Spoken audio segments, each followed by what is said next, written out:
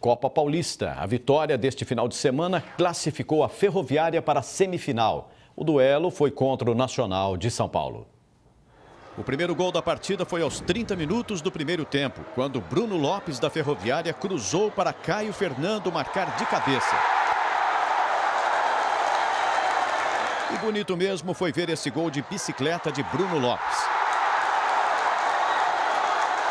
E para não terminar a partida sem balançar a rede, o Nacional marcou o único gol do time já no final do segundo tempo. Ferroviária 2, Nacional 1.